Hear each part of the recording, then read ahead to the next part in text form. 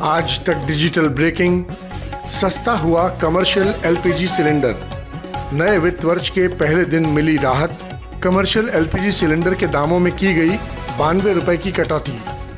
दिल्ली में अब commercial LPG cylinder की कीमत हो गई है दो हज़ार घरेलू गैस सिलेंडर के दाम में नहीं हुआ कोई भी बदलाव।